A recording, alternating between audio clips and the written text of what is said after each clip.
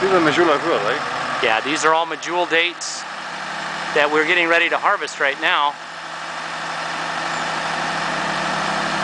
And our workers will be elevated to a height of approximately 45 to 50 feet in a canasta, which brings them up close enough to the uh, to the medjool so that they can harvest them.